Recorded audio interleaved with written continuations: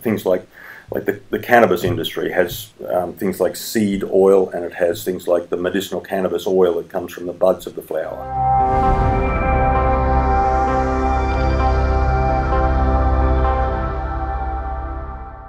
that those extraction and the the different value add that you are able to do. What what are those industries? Probably the products? industries that we're looking at are ones that can compartmentalize part of their, their product stream. And so this might be waste streams that come off a process line, like apple peel, orange peel, um, shells of crustacea, um, nuts and, and grains and, and seeds that, that are oil rich, all of those things that have an um, a rich source of value.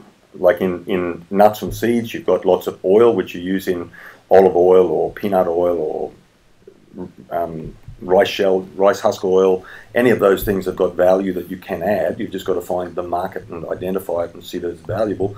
Things like prawn shells have got chitin, they've got astaxanthins in them. Um, things like um, citrus peel, you've got um, limonene and flavors that you use in different food products or drink products. Uh, there's a whole range of different things, and they're they're usually in the, the valuable components are often the things that we throw away. The apple peel contains a lot of the valuable goodies in an apple. The the chemicals there are, are things like quercetin and so on that, that are in the um, in the peel of the apple. Um, the, the like I said, lemon peel and orange peel have essential oils in there, limonene and, and those sorts of oils.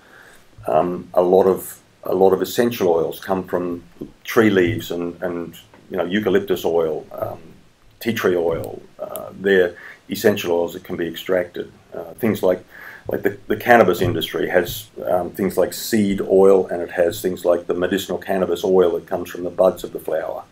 Um, any of those things. Opium, if we if and I gather we're starting to grow opium in other states than Tasmania, and those oils are able to be extracted in a similar way. So all of those higher value products that come often from waste streams or things that you can harvest and take away from the rest of the plant um, are the things that I'm particularly interested in.